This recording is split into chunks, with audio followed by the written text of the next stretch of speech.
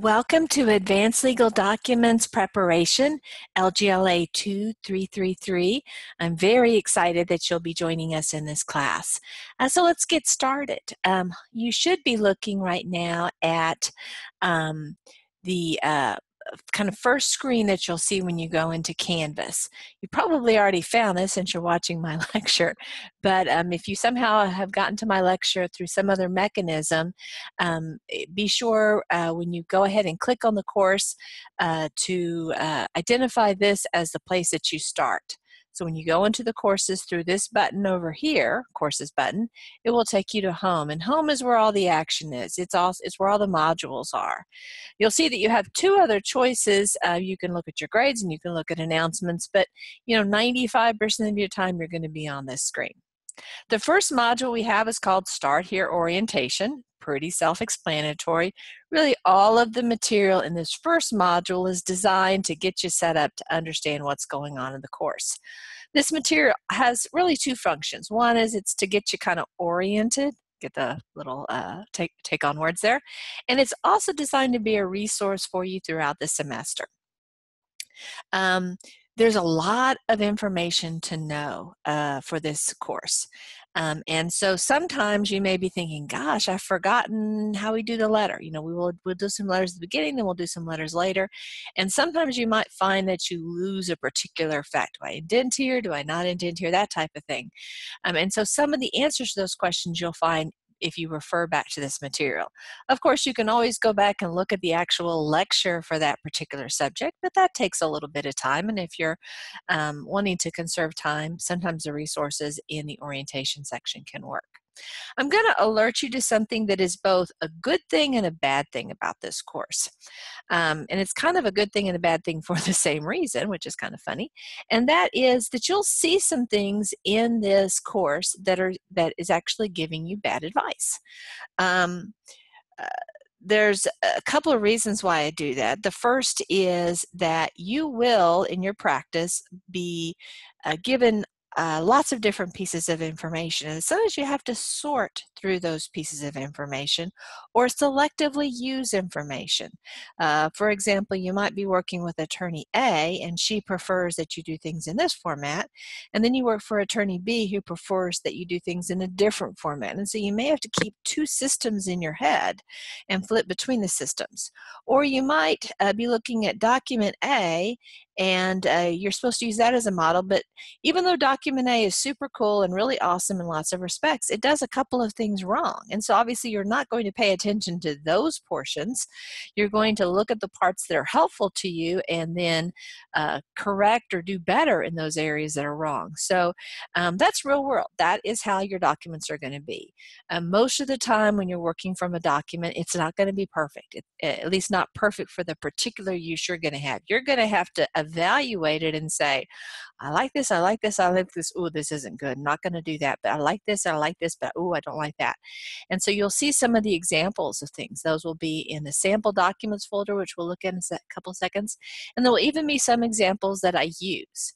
So always use what I say in the lectures as your gold standard. I'm never going to steer you wrong in the lectures. But some of the things I post is going to be like 90% right, but there may be a few things wrong about it. And again, the reason why I do that is in part conscious because that's the real world. You're never going to have those perfect models to work from. And I'll be honest with you, another reason is just uh, life that there aren't perfect examples of every single format uh, that we have out there and so sometimes uh, the ones that we use are less than perfectly uh, suited for a particular purpose Okay, so just uh, keep a note about that information. Um, you'll notice as we go forward that from time to time I'm going to stop you and say, wait a second, um, uh, write this down in your notes or something along those lines. And of course, you'll be writing things down as I'm talking as well. If you haven't already identified a notebook or a, a loose leaf folder or whatever you use to keep your notes, go ahead and pause right now. Go find whatever resource you're going to have. It doesn't have to be pretty, doesn't have to be of any particular type. And as I'm talking, take careful notes. Stop me Go back and listen to it again and write it down. It's a lot easier to spend maybe one and a half times the amount of time listening to the lecture once than having to listen to the lecture four times because you keep on forgetting. Did she say tab in one or tab in two there. Um, so take careful notes and then let's say it's on a letter format we do a letter early on then we do letters later on you don't have to watch the lecture again. Everything that you need is in your notes. So spend a little bit of time to save yourself a lot of time later on in terms of uh, completing documents as efficiently as possible. Um, effective note taking is really really helpful to this class. This is stuff you don't know already or if you do know them, let's say you've worked as a legal secretary the last 20 years and you know more about how to create legal documents than Cynthia Gruver knows. Entirely possible that you're in that situation. Well, but guess what? You don't live in my brain. I am the only one who gets the honor, or whatever you want to call it, of living in this brain. And there will be things that I say that aren't going to be exactly the way your firm has done it. And so you can do it exactly the way your firm does it, and it may be an awesome, magical way of doing things, and you're going to lose points because it's not the way I'm teaching in this course. We'll talk more about which ways you, you do certain tasks as we go forward and why we do it that way and what are some alternatives. We'll talk about all those things. But the important thing to keep in mind is there's not one way of doing things in life in law, but there is one way of doing things in this class. And if you do it another way, that might be awesome and amazing. Um, in another context, it's not going to be awesome and amazing here. Okay, so let's talk about well, why, if, if there's more than one answer, why don't you let me do it in a multitude of ways? Um, a few reasons. For one thing, many firms have a policy that you have to do things a certain way. Um, when I was at Baker Botts, um, when I was starting out, all letters were signed very truly yours, comma. You could not sign it sincerely. If you were the managing partner of the law firm and you really love the expression sincerely, guess what? You weren't going to be able to sign it sincerely. It was always going to be very truly yours. You had no discretion in these eh, matters. And why would you want discretion? It makes sense for a firm to have one way of doing it, to have almost like a branding of the firm. Um, Again, Baker Botts had a certain way, a certain letter format. It's pretty similar to the one that we're going to use, but it's not identical to it.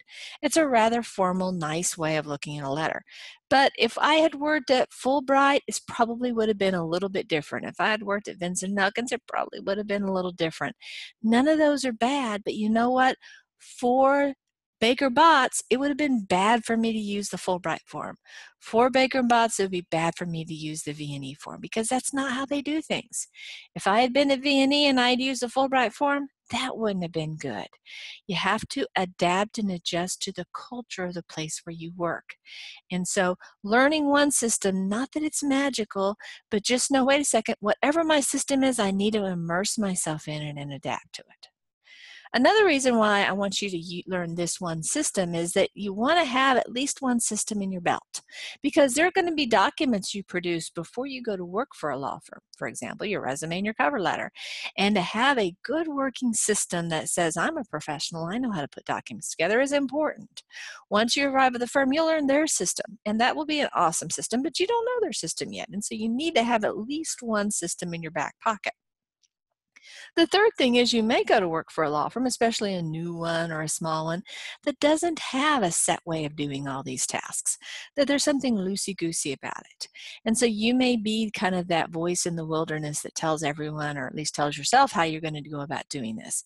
You have some standard to apply that will make your documents for your firm look good. Now, um, if you go to work for a firm and they do documents differently, should you keep on doing things this way?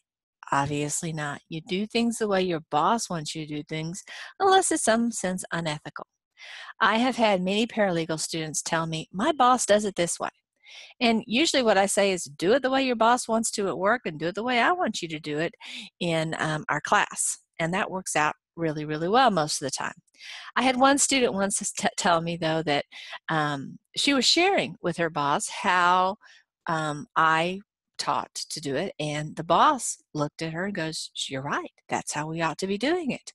And so, as a result of her comments, the firm changed the way it did its, its particular tasks. Um, I'm not asking you to be a trailblazer. I'm not an apostle of this style. I have no trouble with other styles. It's just for this class, play by this set of rules. Assume I'm the managing partner of a law firm, and this happens to be the way I like the letters. Okay. Or whatever the documents might be.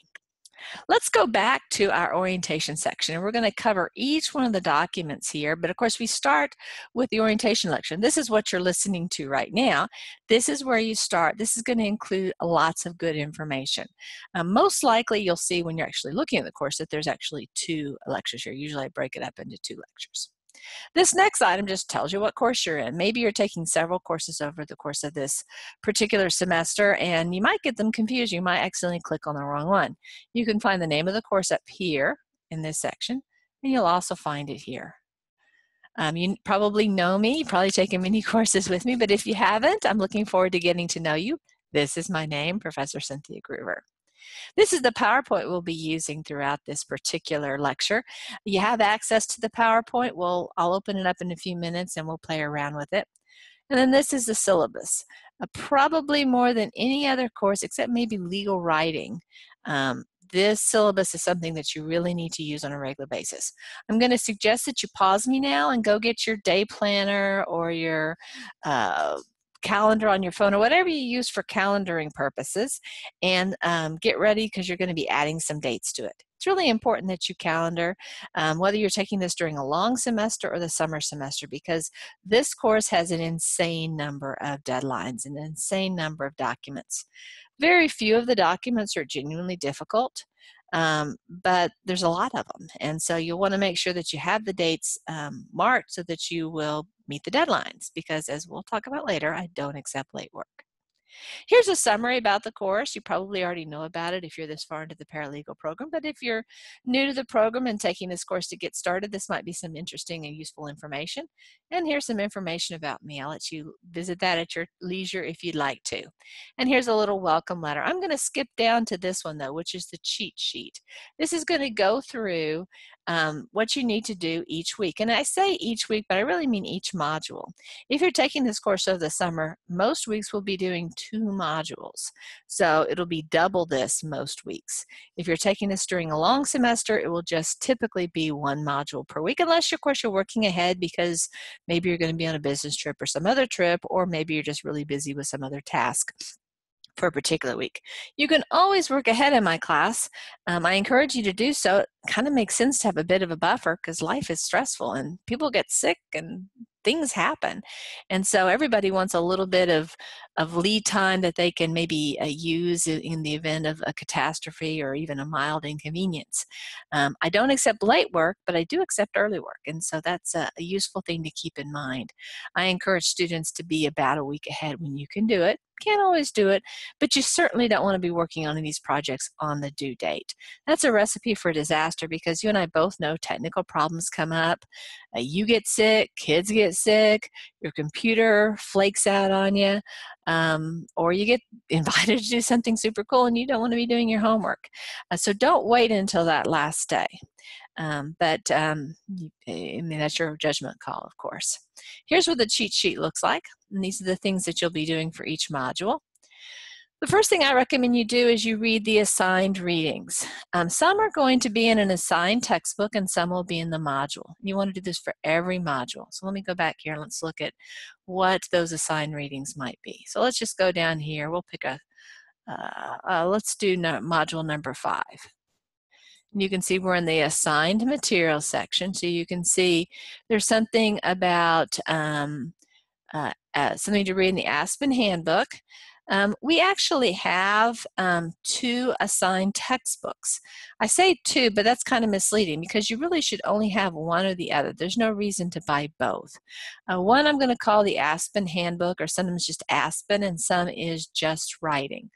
Um, we're uh, kind of uh, getting out of or slowly getting out of using the Aspen Handbook. It's a great resource, but um, the Just Writing book is a better book in our opinion, and uh, Professor Wagner's in my opinion. And so we're moving from at the Aspen Handbook being kind of the curriculum-wide grammar tool to having Just Writing. But um, we recognize that some students have already purchased the Aspen Handbook for another course, and so we don't want to ask that they buy the Just Writing in addition to unless of course they want to. And so you'll see um, I try to list um, when material is in both Aspen and Just Writing, I try to list both pages. Sometimes the information that I'm referencing is just in the Aspen handbook. There isn't something similar in Just Writing because it's a somewhat different scope of, of writing. In that case, it's more, if you have just writing, it's more important than ever that you listen carefully to the lecture to get the information in some of these other resources. Um, so for this particular chapter, there is no assigned reading um, other than uh, uh, uh, these two. Let me look at another one so I can show you what an assigned reading might look like. let me go Well, I guess, okay, I, sh I sh um, so some of these might be assigned readings. Um, I forgot that. I guess they all look the same. This is a video, so I guess this is maybe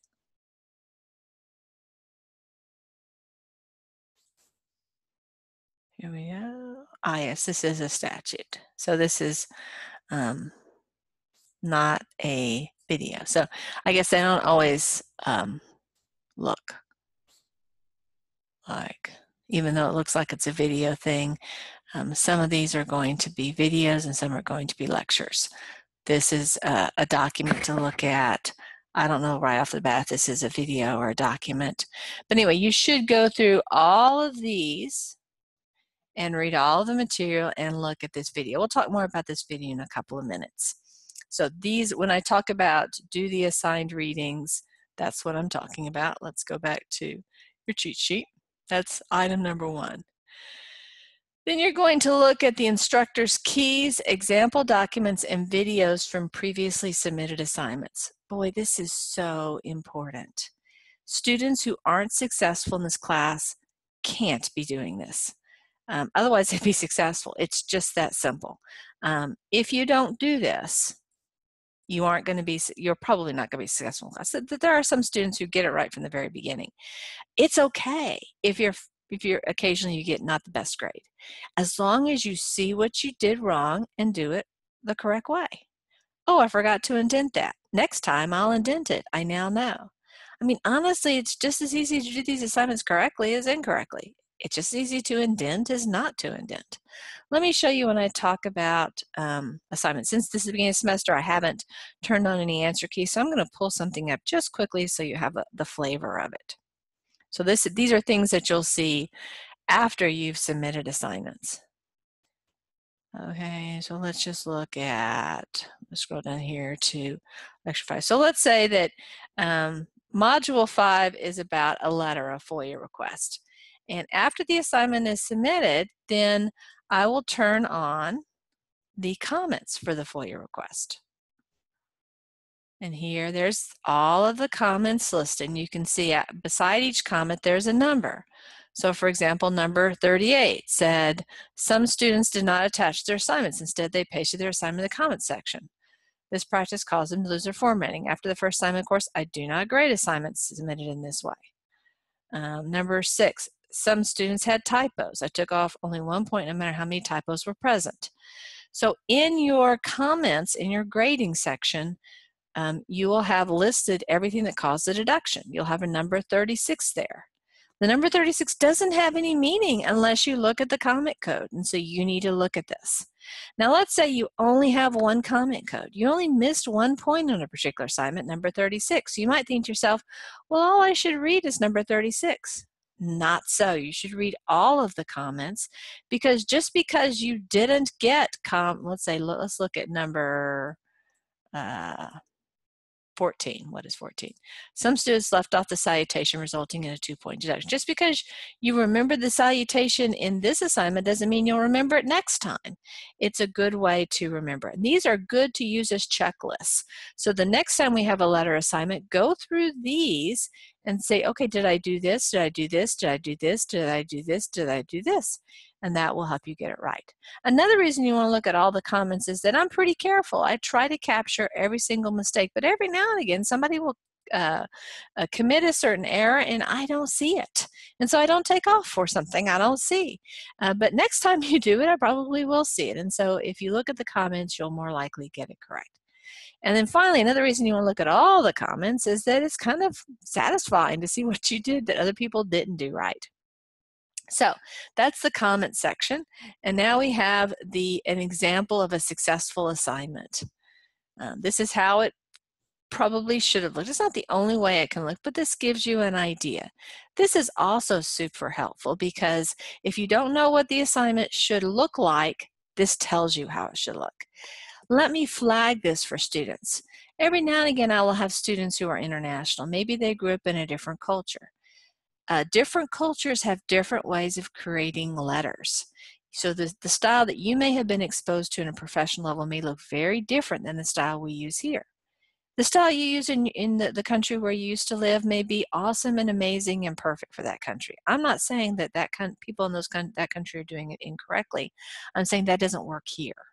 And so if you are from a different country and, and maybe you've corresponded in that other style, you have more to learn than somebody who's grown up in the United States and seen letters in our particular format. Um, so um, keep that in mind. Most of the people who really submit letters that are just kind of out of left field, very, very different from uh, the way they should look for the letters produced in the United States, are often international students or students who've lived abroad for some period in their careers. Um, but again, it can happen with with um, uh, people who who perhaps have lived their entire life in the United States too. Okay, so we've talked about looking at the, uh, also have videos for some assignments. Most of the time my videos are going to be the grammar assignments. We'll talk more about those later on. The next thing you want to look is you want to look at, so once you've done the first two things, you want to look at the document assignment that we have for this particular week. Let's just go look at a document assignment. Okay, I'm going to scroll down to We'll look at the document assignment for number module 9. The document assignment, again, it'll be under the assignment section. The document assignment is going to be a document, uh, module 9 pleadings assignment. You open it up and you'll see here's some information about the assignment and here's the actual assignment document. I'll look it over pretty carefully. I encourage you to print it out um, just so you can have a, a paper version of it as you're working on the computer, but you don't have to if you don't want to. So this is the document, the information that you need to complete this assignment. Uh, but you don't know what to do with it at this point. You shouldn't. You'd be wasting your time to launch into doing the doc the, the assignment until you've seen the video. The video is an essential part of completing the assignment. If you have two hours before the assignment is due, don't start working on the assignment. Watch the video. Watch the video as you do the assignment. That's the most efficient way. But you have to look at the assignment first and then start watching the video. And then as you learn a little bit about how to do it, because I will tell you, indent here, don't indent here, italicize here, don't italicize here, put this in bold, whatever the thing might be, I'm going to tell you step by step. And so you'll do it. You'll listen to what I say, you'll pause me, you'll go into Word and do it.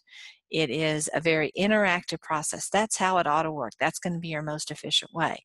You also are going to want to um, take notes because again this isn't the last time you're ever going to do a letter. The first time you do a letter you want to get all that information so the next time you do a letter you can just refer to your notes super easy. Or the first time you do a, a case caption you want to um, know how to do it so you don't have to uh, reinvent the wheel each time. And so take notes as you're working on it. Okay. So that's um, the next part of the cheat sheet. So we've talked about read the document assignment, and now you're going to watch the video lectures that relate to that document assignment. So you go back and look at the video lecture for Module 9. Let's go and look, see where we find that.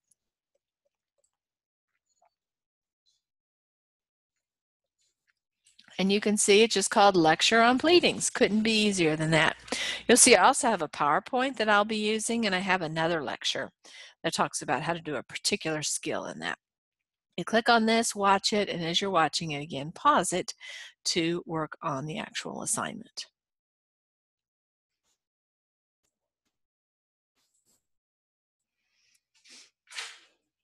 Okay, so you're going to complete the document assignment. If you haven't done so while you're actually watching the lecture, maybe there's a few cleanup tasks you need to do. My suggestion is once you finish with the lecture to go ahead and complete the document assignment when it's fresh in your mind. If you have to go back and look at a little bit of a video or look at your notes from a particular uh, or previous lecture, go ahead and do that as well. Of course, if you encounter a question, now, now did you say to indent two times or one time? Well, what if this happens, or what if that happens, or what if this is my particular situation? Gruver didn't cover my particular scenario. Um, then you're going to want to post a question, and there's a particular question board that I ask that you post here. Now, if it's an individual question, it's about your particular circumstances. Hey, I want to know if I can do this, um, and you don't really want the whole world to know, then don't post it here. But if it's something of general interest about the assignment, then this is the right place to post, where it says questions. Let me show you where to find that. Go to home. This is in the orientation board. You're going to scroll down to the bottom and it says questions, also call it instructor's pointers. You go here and you can post your question, hit reply here, and I will post my answer. And I'll also from time to time um, list uh, answers or comments or things that I think might be helpful to folks as they complete the assignments. So visit here often to find out new information. If it's something that you feel like you need a little bit more support on, maybe you don't have strong word um, Microsoft Word skills and you aren't sure how you do that particular task, come to my office hours. I'm glad to help. Most of the time, it takes about three minutes for me to show you what to do. And then you're like, oh my gosh, I didn't even see that button there. Um, to, to sweat over it for several hours, to be worried about it, um, that's not a productive use of your time. So come and see me and I'll be glad to provide some support for you. Let's go back to our cheat sheet. Um, next thing is participate in the discussion board. You now have enough information about the assignment that you're well positioned to actually do the discussion board. So let me show you what the discussion board looks like. I'm going to go back to home. Each module has a discussion board. You have to participate in 10 of the discussion boards. Uh, you can pick the ones that you want. The discussion boards open um, Monday morning at 12:01 a.m. and they close Sunday night 11:59 uh, p.m. Um, so you have one week to. This is the only thing you can't work ahead on. So if you happen to be really incommunicado for a particular week, then that's one of the discussion boards you're going to miss. But it's okay that you're going to miss it because you only have to do 10. So here we go. I'm going to click into this discussion board. So you'll only you only have if this is a long semester, typically you only have one discussion board open at a time, so it's easy to know which one to work on. Um, and again, if you see it, you know it's going to go away Sunday at 11:59 p.m. If it's over the summer, you may have more than one discussion board, um, and so you'll want to be sure to keep track of that. The syllabus can help you with that, or you can just look to see what's available um, uh, to you uh, uh, on Canvas. So here's an example discussion board. Um, you'll see this part is what you're supposed to discuss. And then the second part is a reminder about the rules of posting. I put this reminder on all discussion boards. Obviously, you don't have to read it because usually it's the same thing. Um, there's a couple times where it's a little bit different, but most of the time it's the same thing. Let me just refresh you or let you know what's in this. Uh, in the discussion board, engage your classmates in stimulating discussion while uh, just as you would in a live lecture class. I will be monitoring the discussion board weekly for class participation. I am looking for substantive posts from each student. Posts that say more than I really enjoyed the topic. I'm looking for thought-provoking comments and from those who have taken courses in the subject that we're covering, I expect to see a more in-depth contribution. So for example, if you've taken family law uh, when we cover the family law module, I want to hear, well, in family law class, we talked about this, this, and this, or here's some more information about this, this, and this. That's really awesome. That's what I want to see. If you haven't taken family law yet, you can't do that. That's fine. I'm not expecting you to um, do stuff that you haven't already taken. Your substantive post must be at least 100 words in length. It can be a lot longer. It's not at all unusual for me to have a three, four, 500 word submission. That's awesome. 100 pages is pretty much the bare minimum. Um, it's all, it's very difficult to have a really awesome post that's 100 words. Um, you need to include the word count at the end. Uh, since you're going to be using Microsoft all the time, what you can do and I let's imagine this is my post right here, what I have in yellow. I'm going to copy it. I can plop it down into Word. Here is that information. And I just do a word count. I go to Review. I go to Word Count. And I'm told that this has 192 words. So what I would do is do Word Count 192. And then I could cut and paste this into the discussion board. And I've completed the assignment. Um, or I can manually count it or use some other tool. I'm sure there's internet uh, websites that will count these words for you for free if you don't happen to have access to Word at that particular time. You know, I mean, one service might say it's 192 words and one might say it's 190. But let's say this is all you posted. I can look at that and see it's not 100 words. And what I do, and I'm going to be very honest here, is I do cut and paste input in Word if it seems to be that it's under 100 words. Um, and when you either leave out the word count or tell me a word count that doesn't can't possibly be something that you legitimately came up with, that's a problem. We can't have unethical behavior um, in this class. I'm not going to put up with it, and so don't do it. Um, that's not going to be a happy situation for you or for me. And so keep your count correct. If somehow or another you can't get to 100 words for whatever reason, post the number of words you have. Don't leave out the word count, even if it's below 100, because you're going to lose points. Part of the assignment is to include the word count. Okay? Uh, so uh, you must include its word count at the end. That's for the substantive post. Um, in your two responsive posts, each must be two sentences long. So here I don't need a word count, although you can post it if you want to, but they have to be two complete sentences long. Okay, each week you can earn up to 10 points. Um, uh, so you, will see that that is the range. Um, if you um, your overall, it's, it's 5% of your grade overall. So when you participate for those 10 modules that you're choosing to participate, um, you know, put kind of your best foot forward. Better to participate really, really well in 10 than to participate eh, kind of sort of okay for all of the postings.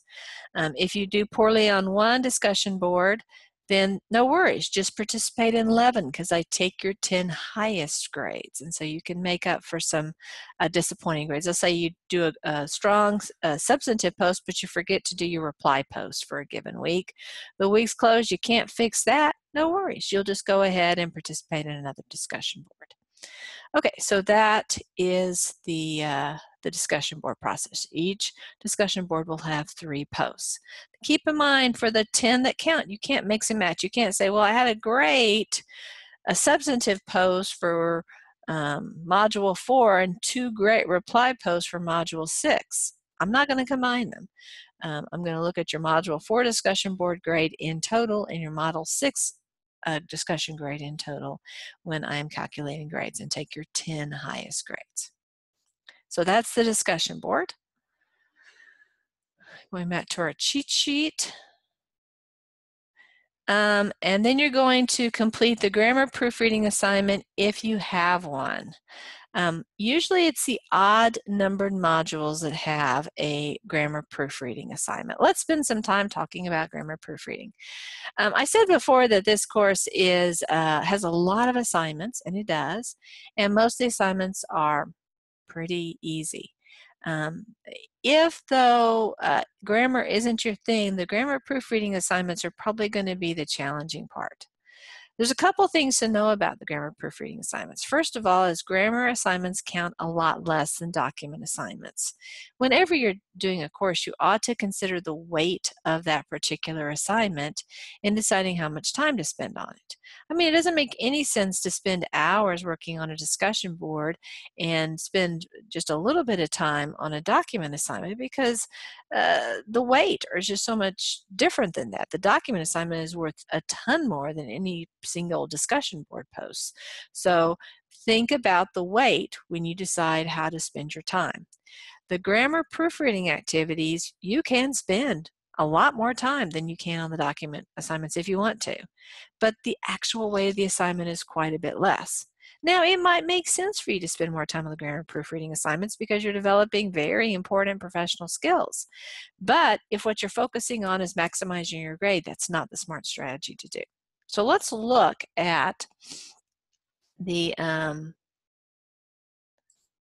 uh, grammar proofreading assignments. One thing to keep in mind is the instructions. View this. This is a, a, just a couple minute long instruction here that tells you how to go about doing it. I go through and explain to you um, the process for it. I'm not going to do that right here, but I just wanted to let you know where it is. And many of this, of course, is in the orientation module, so you don't have to remember which one it is. Just remember it's up here. And Let's go down to a grammar proofreading assignment. So I'm going to go to the one in Module 1. You can see it's an odd numbered module. And this is the assignment right here. You can see it's called Punctuation Grammar Proofreading Assignment.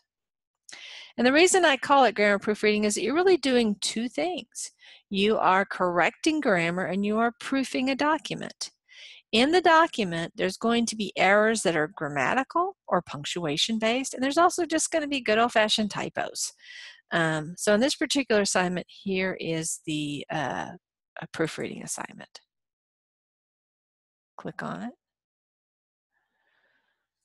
Here it is. This is the document you're going to proof. Just two paragraphs. What I recommend that you do is go to another page. But by the way, if you don't know how to do this, the way to start a new page um, in um, Word is just to hit Control Enter, and that will start a new page. I like to have my whole document on one page. And the next thing I will do is blow up my font. I like to do 20 point uh, font. This allows me to see it super easy. Okay, so this lets me get started. Um, there's a couple of different ways you can proofread. One thing is you can look for one issue all the way through. You can decide, well, I'm going to look for typos. Um, and what I might do is I might actually use the review button and have Word look for spelling and grammar errors. And you can see Word has already identified with this blue underline a couple of issues, this one and this one. Then there's this one and this one and this one. So Word is already going to give you some hints. Now I have programmed Word to point out certain problems. Your version of Word may not have those particular things identified. I'm glad to sit down with you and show you how to program Word. Um, if you like, just come see me and we can work together on that. But even if I'm not using Word at all, I can go through and look for particular issues. Or I can do a global work through and look through each line trying to identify problems. It's very common, this is true for me, and my guess is it's probably true for most people, is that I can look at something and I can absolutely know the rule, and yet it can be staring me in the face and I don't see it. I may not see the problem that's right in front of my eyes. And that's why blowing up the font can make it easier for me to see. Another strategy is to read it aloud. Reading it aloud forces you, in some sense, to see what's really there versus what you want to see. Another strategy is to um, click on home and then go over here and hit on this backwards P, which is the paragraph sign, and it will show you all the formatting. So you can see every time there's a space bar, it's going to be a middle a dot in the middle. And so if for some reason there were two spaces here, let me make the space bars go away, you might not notice that there's an extra space here. It's kind of obvious, but not super obvious. But when you turn on that sign, it's super obvious. See, there's two dots there, so you'd go ahead and remove one.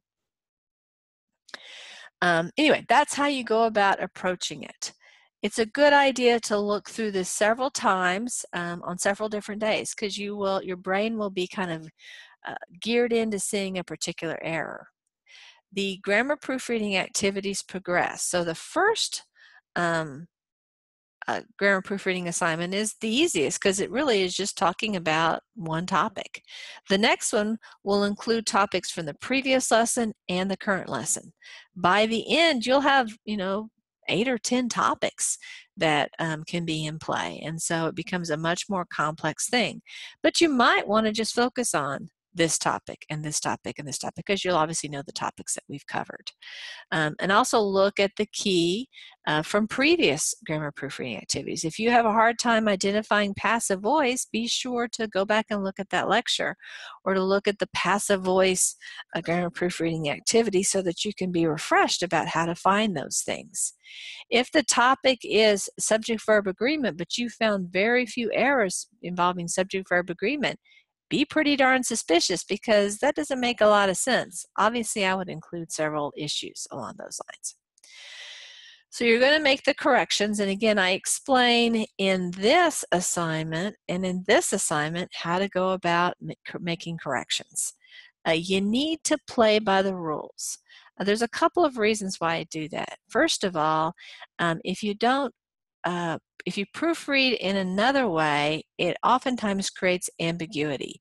Did you really mean to make this change or that change? And I try to remove as much ambiguity from these assignments as possible. There's always going to be some, I know that, uh, because uh, subjectivity in grading is hard. It's hard for you, it's hard for me. The last thing I want to do is deny you points or give somebody give one person more points than another person. And so it's helpful for me if everyone plays by the same rule book so I can compare apples to apples. Another reason that I like to have one set way of doing it, honestly, is it's just easier for me. Um, there will be significant differences in documents because there's more than one way to fix one of these problems. But the more I can have similarities, the quicker I can grade these. And these are quite time consuming to grade. And so you're helping me out when you play by the rules and do it the same way as everyone else is. And the third thing is, and it goes back to what we've already talked about, law firms have a lot of these rules. I mean, obviously, typically proofreading stuff isn't going to be the standardized, but um, document production rules, you just have to play by them. That's just whether you like it or not, that's the rules of the game. And so it's better to get used to it now than, than later. Okay, so this is how you go about doing it. Um, if you have problems with this, come see me. Um, some students get, uh, you can actually get, each one is worth 20 points. There's, so there's students who routinely get more than 20 points because it is possible to get several points above that. Um, if you're a student who's struggling, typically that means you're getting, say, below 12, um, come see me. I give a lot of support in the completing the grammar proofreading assignments as well as the document assignments. I will, we will work together to make the document awesome. Uh, there is no reason for you not to do well in all of these assignments. If you watch the lectures, if you uh, do the work, you will do well. If you're still needing support, come see me. Um, if you haven't seen me and you're not doing well, you really only have yourself to blame because I provide a lot of support. Um, usually students don't come see me, um, but when a student finally does come to see me, they usually start coming every week because they see that it's really a useful investment of their time. Okay, so let's go back to home. Okay, and we're back to the cheat sheet. We've talked about the grammar proofreading assignment against every odd number. We're done with this particular module. So again, you want to, for every module, do the assigned readings. You want to look at the key for the last uh, assignments um, in the example documents and any videos for that. By the way, I have a video for all of the grammar proofreading assignments. And after it's submitted, I show you how I would have uh, completed it. If you're doing well in the grammar proofreading assignments, you don't have to watch the video. But if you have a grade in the 12, 13, 14 range, it would probably be useful for you to watch that video because I walk through my mindset, what I'm thinking as I'm completing the assignment. You're going to want to complete the document assignment and watch the lecture. By the way, the lecture includes information beyond just how to complete the document assignment. Um, and as well as these uh, assigned readings and videos because there is a midterm and a final. It's this course is more than just about producing documents. You need to know something about the documents and why we do it this way. And so don't think, oh well, I know how to do the document. I didn't bother to do the readings. Well, that's probably going to result in you getting a good grade on the document assignments, but you may not do so well on the midterm and the final exam. Okay, so let's go back to home base. You will refer to this cheat sheet probably every week, uh, maybe multiple times a week, consider it a very useful resource. I wish I could star it or make the font bigger because this is a really, really useful thing. This and this are in your orientation module. The syllabus and your cheat sheet are really, really helpful documents. Here's some frequently answered questions.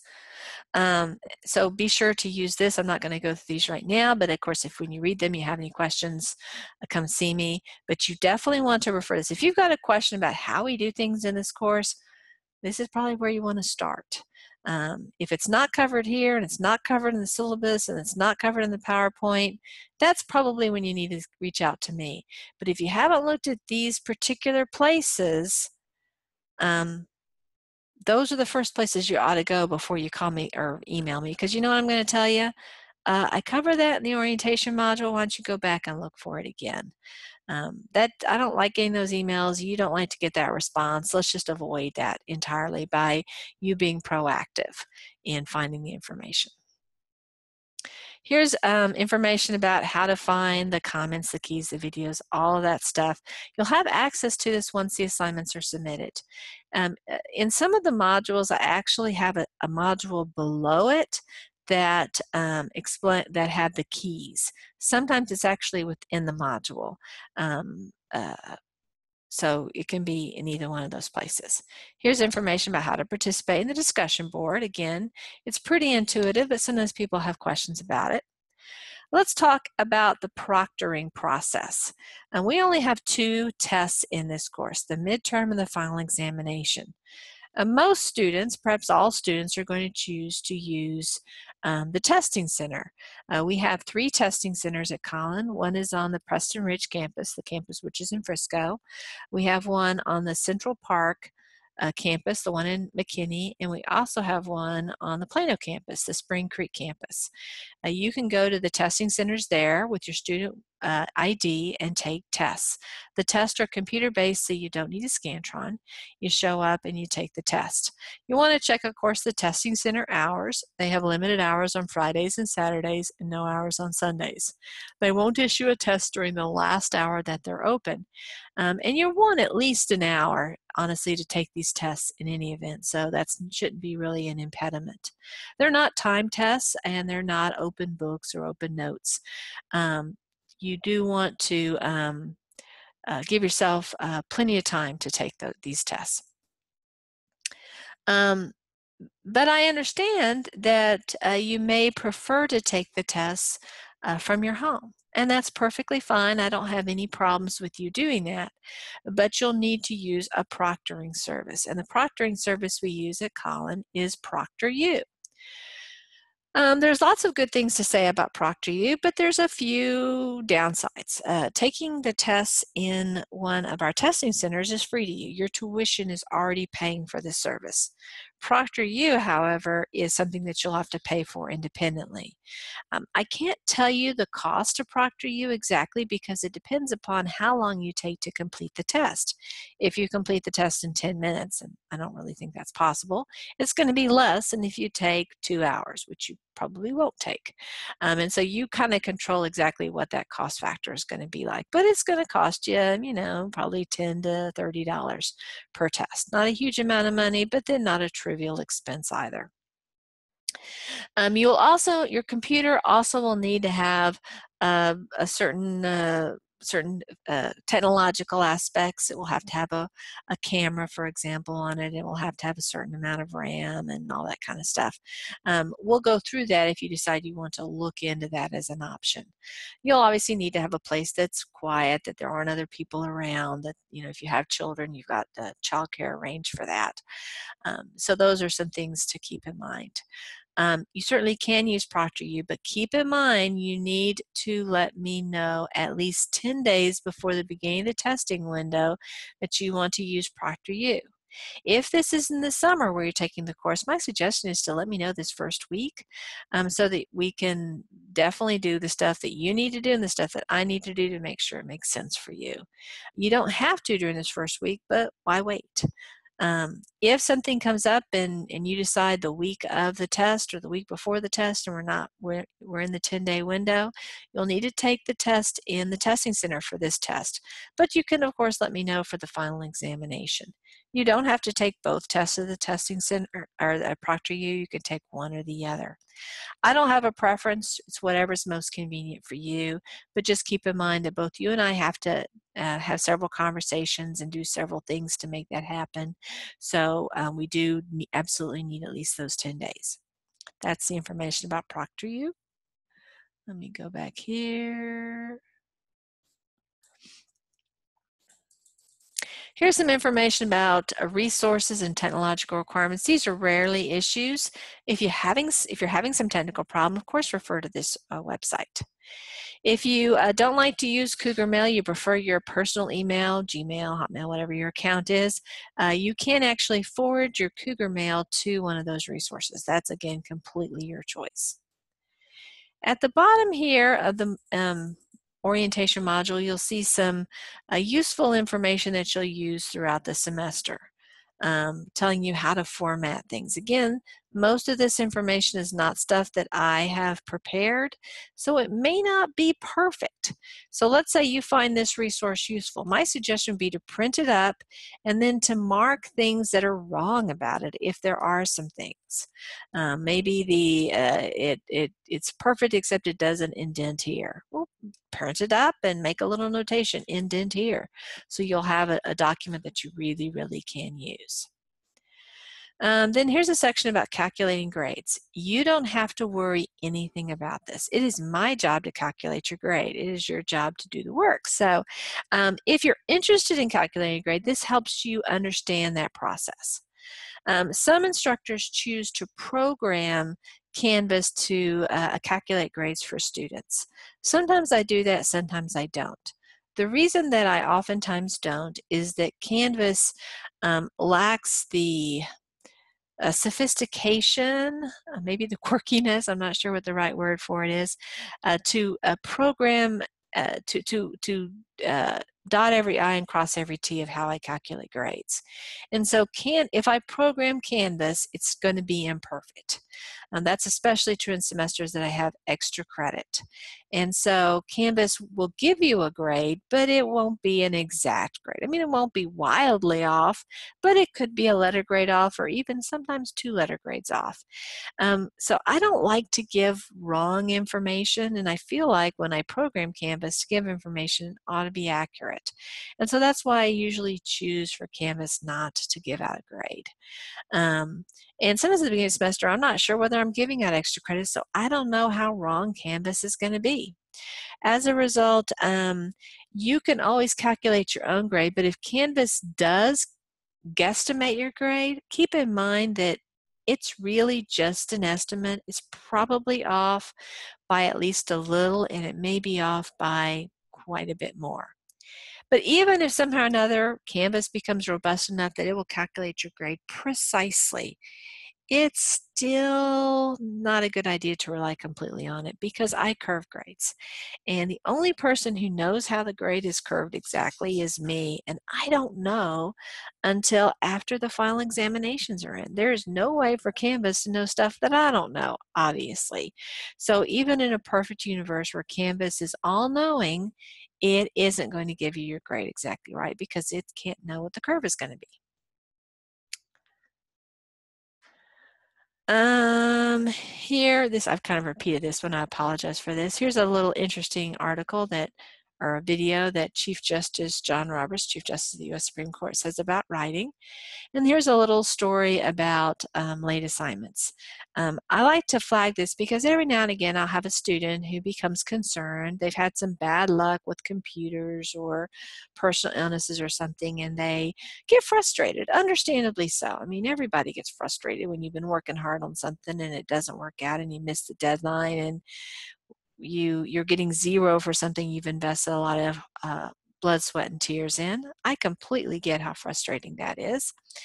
Um, and so, if when, when you find yourself in this situation and you kind of get your cool back, watch this to uh, get my explanation as to why I don't accept late assignments.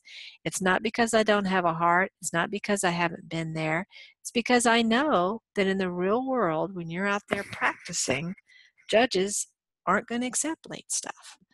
And it's much better that you go through the pain of getting a zero on something when you aren't in danger of getting fired, when you're not in danger of causing your client to lose a significant amount of money or custody of his or her child or their uh, freedom because you forgot a deadline or you missed a deadline. Um, it's this is the time you can afford to mess up. But that window is closing soon, and pretty soon you can't afford mess ups. Most legal professionals that I know, at least, have missed a deadline. I missed a deadline. Um, it was early in my career during my second year of practice, and it was a story that gave me nightmares for years. Um, I no longer have nightmares over it, but it was a traumatic event in my life. Didn't lose my job over it, went on and had awesome things happen with me, and I stayed with the firm, and everything was fine, but it could have gone a different way. I know that, and I don't want you to have that experience. I can't protect you completely from it. This is the best way that I can help you. So when I say no, it's it's a, a tough love. It's designed to help you succeed, not to cause you to fail. And I hope that you'll see in that spirit after you calm down from having missed the deadline. Anyway, that's my spiel. I'm not going to dwell upon that anymore. Okay, so let's get started on the PowerPoint. I've already talked about a lot of these issues, um, so let's uh, cover a little bit and then we'll get started and then we'll uh, have our next lecture in a few seconds. So this is our orientation. We've already done a lot of this, so this will be pretty quick. If I haven't said it already, welcome to this class. I love teaching this course. I consider this course, along with legal writing, to be the money-making courses here. Even more, perhaps, than legal writing, this is the course that gets you the job. You will leave this course with several beautiful documents that you can put into your portfolio that in your job interview, you pull them out, you know, when the, uh, let's say it's a family law practice and the attorney goes, have you ever uh, completed a divorce petition? You can say yes, and here's an example. And they will be floored, I promise you. Uh, not only will they afford that you have these documents and that you brought them, but they're beautiful. They're perfect. They're probably even better looking than the attorney usually presents. You're going to wow them. They may have been between you and somebody that has 10 more years of experience, but you just nailed it right then. This is the moneymaker. This is what gets you the job. Um, this isn't necessarily what's going to keep you employed because um, you're going to have to develop a lot more skills once you get this this this job because you know we're not we're not clinching the deal, but we are getting you to be a serious contender. And so think about this course as being kind of resume and interview 101 for the, the program. Here I am, if you haven't met me before, this is a picture of me. Uh, my name is Cynthia Gruver. I've been licensed to practice law in Texas since 1990, so I'm very, very, very old. Um, I started practicing law at a large law firm in Houston called Baker Botts. It also has a branch in Dallas. And then I went in-house, which means I went to work for a corporation, JCPenney. I was there for 17 years. And I left JCPenney to come to work at Collin full-time in 2010. So I've been here for many, many years. When I was practicing, I primarily practiced labor and employment law, um, but I also acted as a litigator. I did a few, I dabbled in a few other things. Um, and so uh, I'm fairly broadly, my practice was, was on the broad side, certainly not as broad as some people's, but um, probably more broad than most. Um, I am the discipline lead, which is kind of a way of saying I'm kind of like a department chair for the legal studies, and that includes the paralegal program. I teach paralegal courses primarily, but I also teach business law to business students.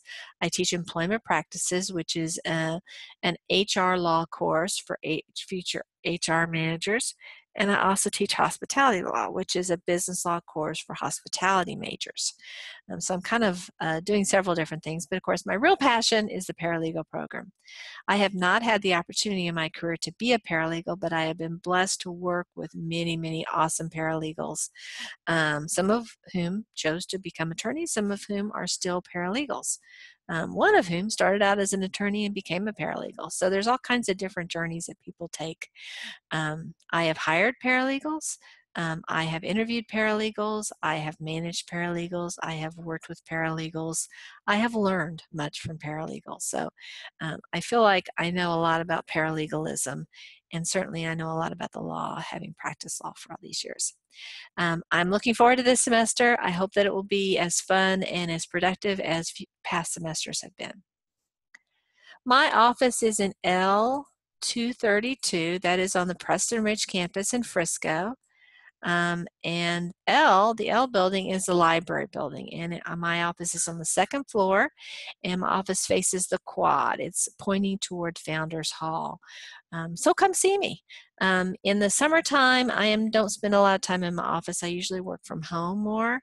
But in the uh, long semesters, I am often in my office and would be glad to meet with you during my office hours or another time if I know to expect you.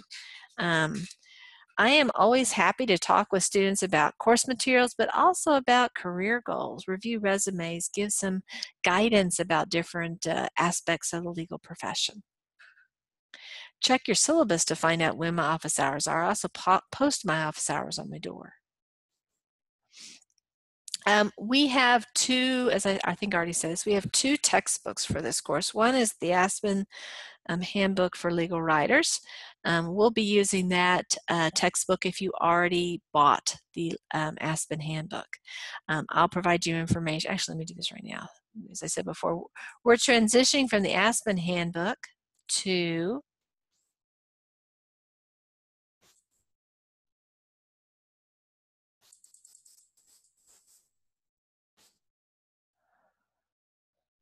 Here we go. To um, Just Writing, Grammar, Punctuation, and Legal Writing, a book by Anne Enquist. This book is going to replace the Aspen Handbook. But again, since some students have already purchased the Aspen Handbook and another course, I don't want you to make anyone buy both versions.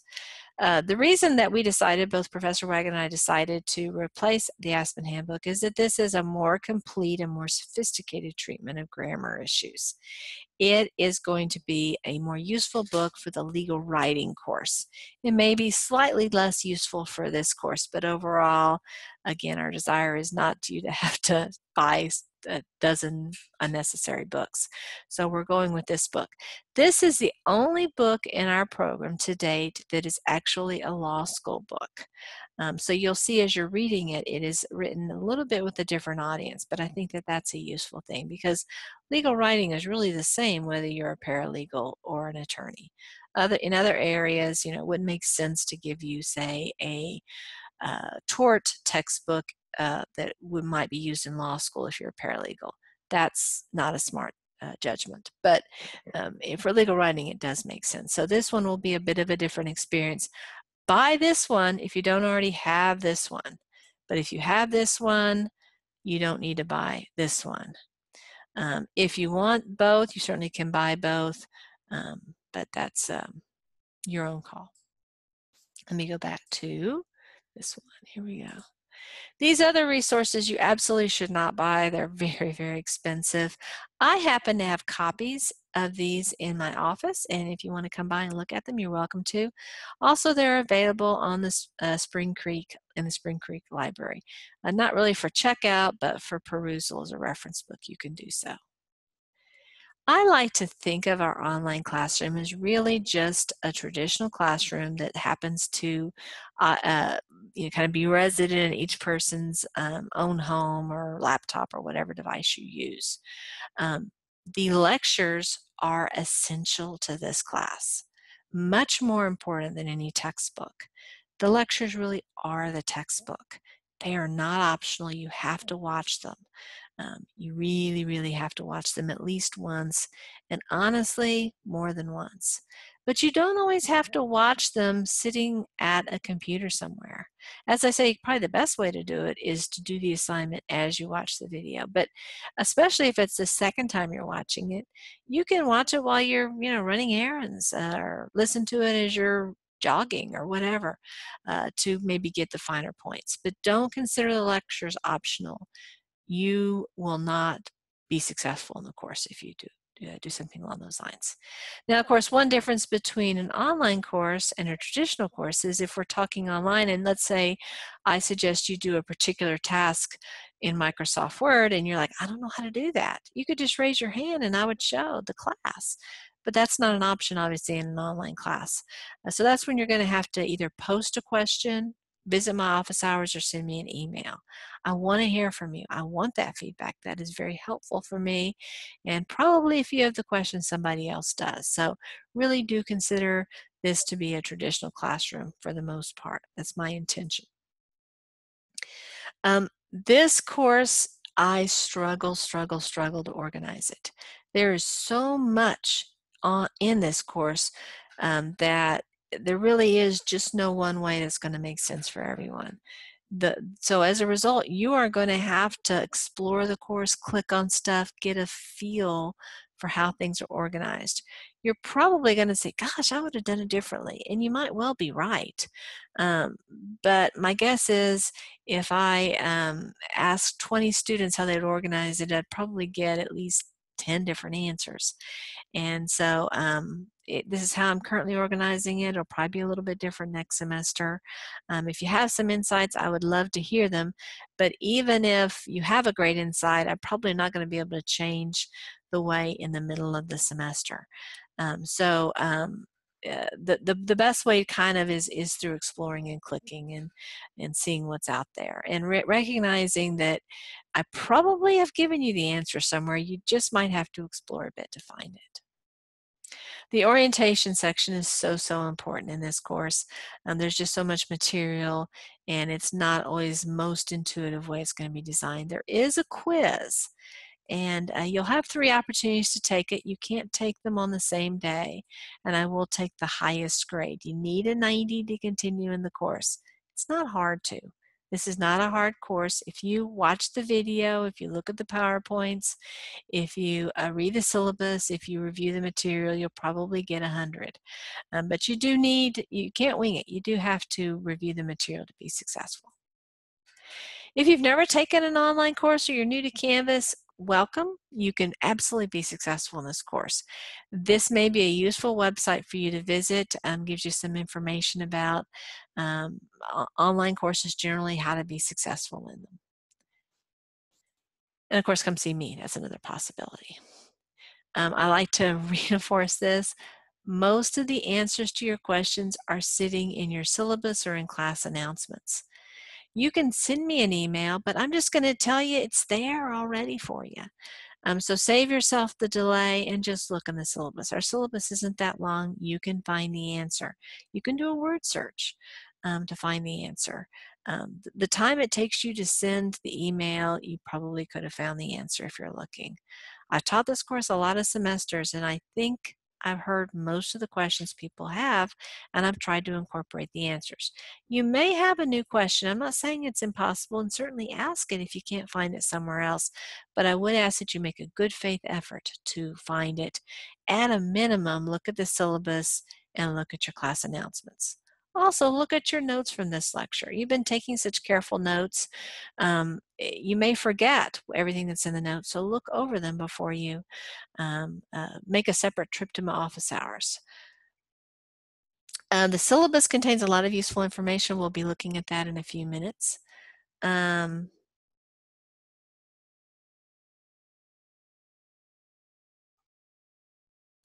So another reason I didn't say this before about why I don't accept late submissions, I, I gave probably the most important reason, which is that um, courts don't accept late assignments. But the second reason is that, this is especially important if you're taking the course over the summer, is that you, um, number one, when I grade things, I have to grade them in a group for consistency's sake. So I just kind of lock myself in a room for several hours and just sit down and grade them um, so that you know the first one I grade, I'm grading the same way as the last one that I'm grading.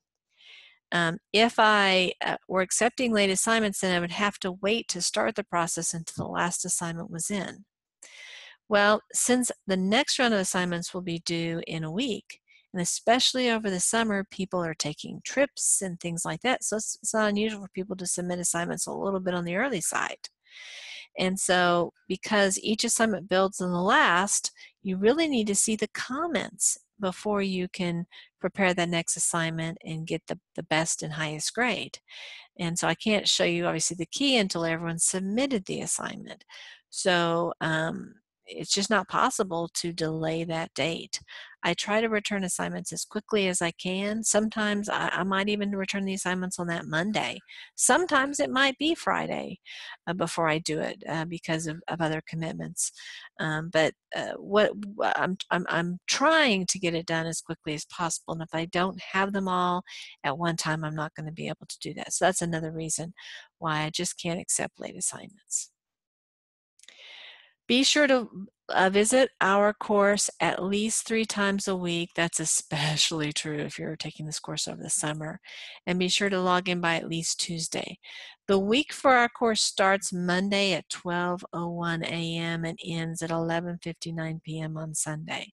So Tuesday is the second day of our course. We don't follow a Sunday through Saturday schedule. It's a Monday through Sunday schedule. You'll want to look at class announcements each time you visit. You'll see class announcements in two different places. Let me show you where you'll find them. The first place that you'll find them is right here in announcements. Uh, what I'm about to show you, you won't see this currently. This shows all of the course announcements, most of which I haven't released, but you can see the first one. Uh, welcome to Advanced Legal Documents Preparation. This gives you some information generally about the course.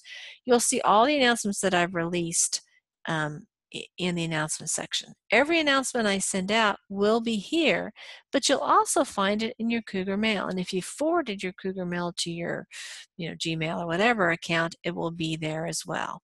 Um, so you can find those in either one of those places.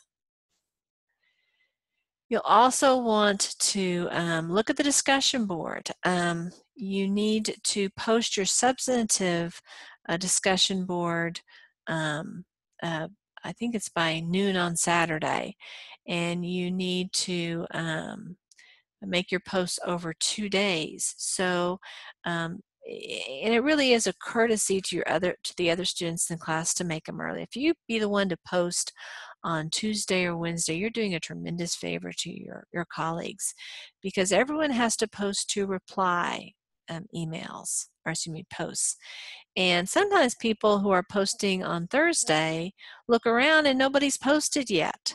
So they can't do the reply post. Well, let's say they're going out of town for the weekend. They're in a pickle. They're not going to be able to complete the task um, if they don't have internet access wherever they're going. So do somebody a favor by posting early. You have to do it anyway. Might as well do it earlier. Yeah, the, the rule is I see right here is this your substantive, your first post has to be by noon on Saturday. If you miss the deadline, you can go ahead and post, um, but you're not going to get all the credit. And again, there's no reason in the world to wait until Sunday. Um, I'm not going to count off if you wait to do your reply post on Sunday, but uh, don't put yourself in a pickle. Don't put yourself in the bind. It's just as easy to post it on Friday as it is on Sunday. Be kind to yourself and make those posts earlier. I don't I don't make a lot of reminders about deadlines. Um, I don't do that for several reasons. The, the, the most important is uh, I'm an adult, you're an adult. I'm not going to treat you as if you aren't an adult. Uh, you know how to calendar things. Um, let me just, let me suggest that you pause right now, get out the syllabus. Let me show you where the syllabus let me show you where syllabus is. Syllabus is right here. And I pull the syllabus. Go to the last couple pages of the syllabus. All the due dates are right here. You can see the due dates going forward. Put those in your day planner. Put those in whatever you use for um, calendaring purposes. I've set it to you here and all of the deadlines are on here. You can see them as you're clipping through. Here's the deadline, here's the deadline. I'm not going to be sending out emails reminding you about things. Uh, we don't have class time, so we're not going to talk about it in class. Um, if you aren't calendaring this and paying attention, you will miss some deadlines, and that's the way the cookie crumbles. Um, this is actually quite a bit more notice than you have in the professional world. Let's say you're supposed to submit a reply brief. Well, the court isn't going to tell you, and opposing counsel isn't going to tell you, "Hey, wait a second, you know, you got you got our brief. Well, you, your reply brief is due in 15 days." You have to know what the rule is, how many days you have. You have to know whether weekends count. Um, you have to know whether you can request an extension how you go about requesting extension if you need it. You have to find the rule and do the count counting to make sure that it's right. So uh, this is actually quite a bit more hand-holding than you'll find in your actual practice. The other reason I don't uh, give reminder notes is that I invariably get the date wrong. Um, uh, many times I teach seven or eight courses in a semester, and it's really easy for me to get confused about due dates. And so there's nothing more frustrating for a student it, than uh, a student who knows the due date is, you know, Tuesday and the instructor says it's due on Monday. It's like, well, what's the real due date? Again, you've got it on Canvas, you've got it in the syllabus. If there's a conflict between those, then yes, of course, bring that to my attention so I can uh, correct and adjust it. But if, if, if you look, you'll, you'll be able to see the due dates. They're not a secret. Um, if they're consistent with each other, um, then that's going to be the time that you need to submit the assignment. Let's look at the sample documents folder. This is really important. And before we do this, let me just show you some text that is super important.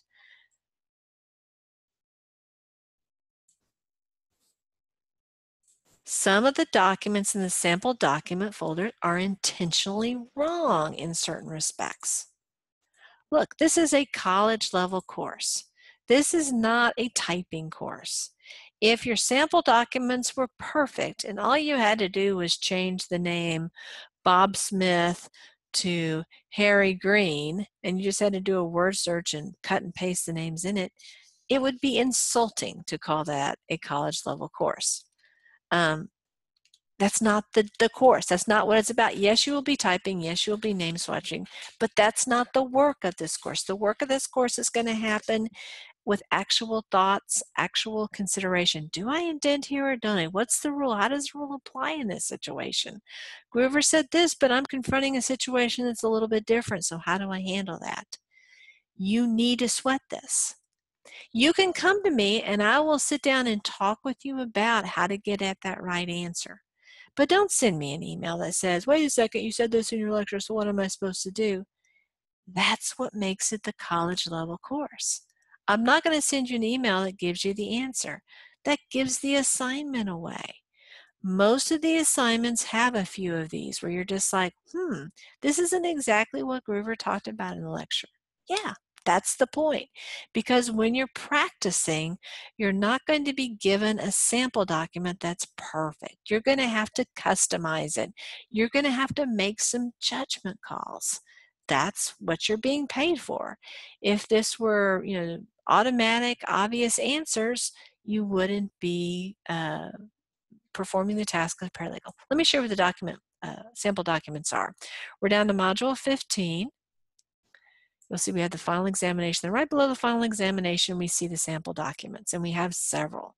We won't probably be using all of these in this course, but this gives you some idea about how to do them. Let me just show you an example. A sample petition, looking at this. I can look at this and, and in just a few seconds see some errors. Um, three errors, four errors, five errors, right off the board. There are going to be mistakes in your sample documents and you're going to need to fix them. So don't assume that the sample documents are perfect and if Gruver said something different, she must have been teasing or something. No, the sample documents have problems. They have the doc uh, problems on purpose. You're going to have to customize them for your particular circumstance. A common problem with sample documents is they're from a different jurisdiction. There are other states that have documents that look pretty different than the documents in Texas. But this is a Texas-based course. If you end up practicing in Illinois or Hawaii or Florida, then you're going to learn how to produce documents that look appropriate in those places. Uh, but you're not practicing there, at least you, as far as I know, you're not practicing there. And so if you get a source document from a different state, it's going to look different, but you're going to need to make it look like a Texas document. So if you see something that's different, don't think, oh gosh, I must be supposed to do it this way. Well, no. And if you're unless you're in Wyoming, no, you need to do it the Texas way.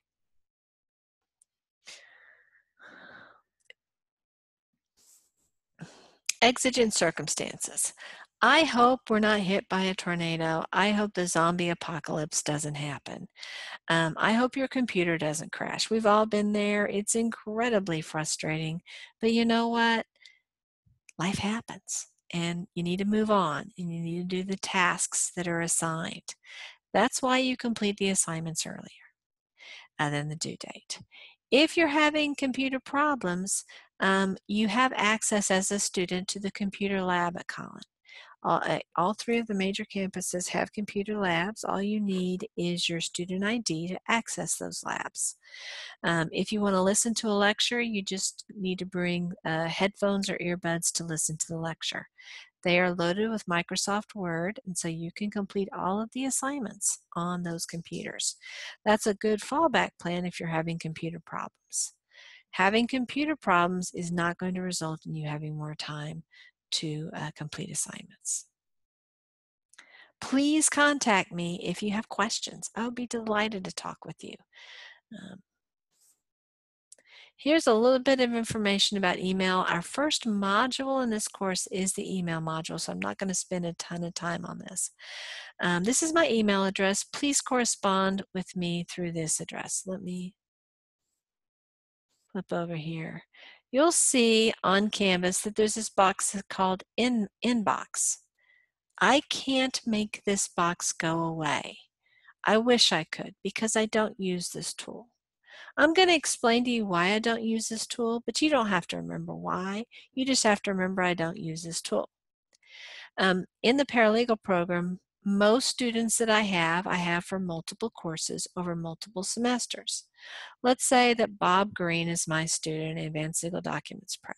I've known Bob several semesters. But you know what? I don't remember whether I, I had him in my intro course or not. Maybe it was contracts that I had in that semester. And even if I remember I had him in an intro course, I can't remember whether it was last semester or the semester before the semester before that.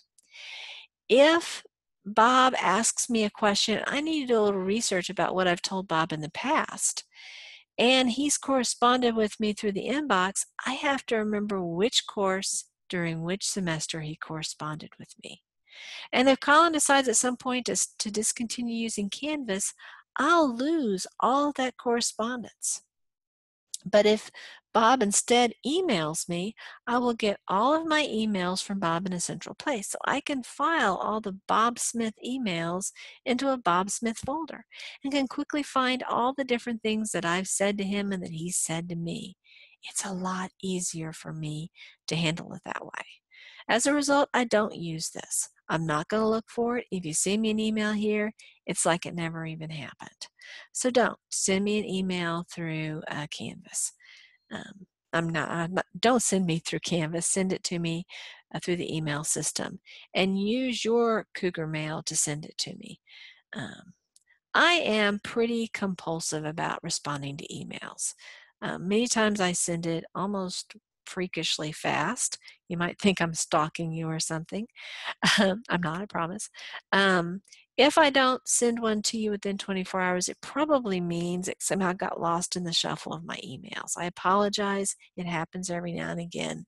Resend it to me so that I can see it because if you don't get a response within 24 hours, I probably mislaid it somewhere.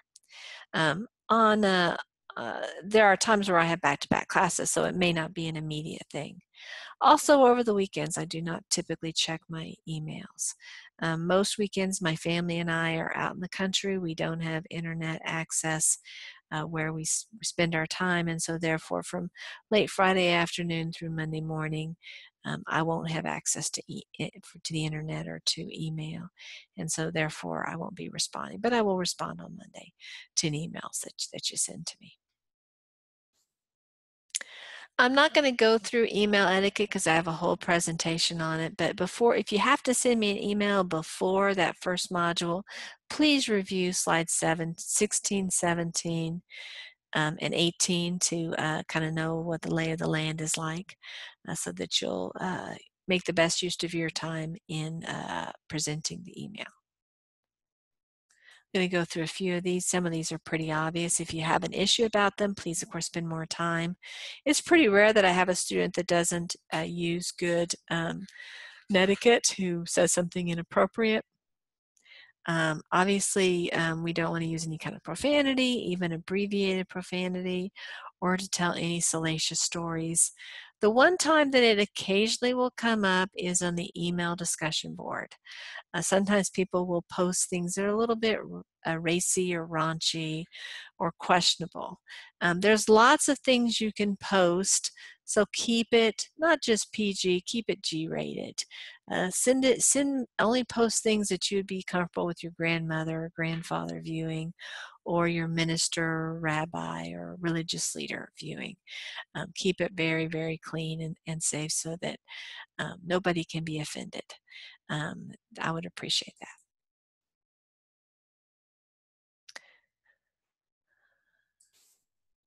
Here is how your grade is calculated. You can see class participation, that's just the discussion board, is 5% of your grade. The English convention assignments, which are the grammar proofreading things, are only 10% of your grade. So it's a relatively small part. We do less than 10 of these over the course of the semester. I think it might be eight. Um, so each one is a little over 1% of your grade. You can skip a whole one and it's probably not going to change your grade. You can do poor on one or two or three, and it's not going to change your grade. So don't get too bent out of shape about this. Your document preparation assignments is the bulk of the grade in this class. That's 50%. Uh, most modules have a document preparation, and this is where it starts really making a difference that you submit the assignments and do a pretty good job. But even here, if your first letter is not so great, but you learn from that experience how to do a great letter and you start producing great letters after that, you're fine. No worries. This can be fixed. The problem comes up when you don't learn how to do it. You keep on submitting documents with that same error. The midterm is 15% and the final exam is 20%. Both of these will require that you know how to do the document preparation and that you know the grammar and that you know something about the rules of the road with respect to the particular document styles that we use. Here is some information about the weekly assignment. I also have this in the cheat sheet section. Let me flag this. All assignments must be in .doc or .docx format. You may not PDF them. The reason that you can't PDF them is that I need to be able to see the formatting. Let me show you what I mean. When we're looking at this document, I can turn this on to see, oh, let me blow this up so you can see it better. So you, I can see all of the spacing, the, it's not doing it here. Why is it not? Um, here we go. Let me pick up a different document.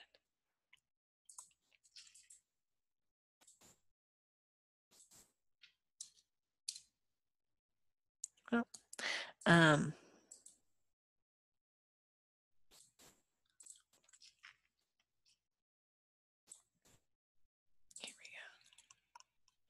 well, I'm not sure why it's not working right now.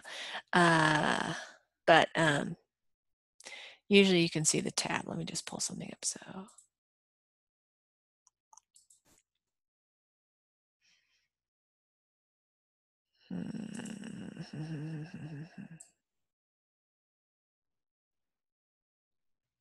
Anyway, um,